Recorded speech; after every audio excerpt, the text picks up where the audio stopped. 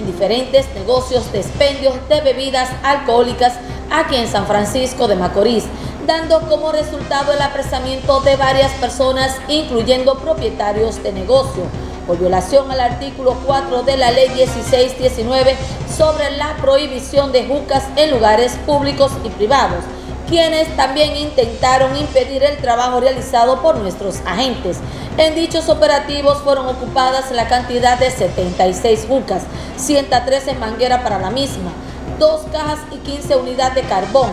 dos rollos de papel aluminio, cuatro vapor, 15 baterías para vapor, 7 potes de líquidos para vapor, cuatro paquetes de filtro para vapor, cuatro paquetes de pitillos para jucas, dos cargadores de baterías para vape, 169 cajetillas de tabaco para jucas, tres mesas de metal, siete sillas de metal y dos plásticas y cuatro bocinas, así como también fue ocupada la pistola marca Smith Hueso calibre 9 milímetros con su cargador y 15 cápsulas para la misma, la cual fue ocupada el nombrado Yocari Herrera, mientras se encontraba exhibiéndola en un negocio de expendio de bebidas alcohólicas aquí en San Francisco de Macorís.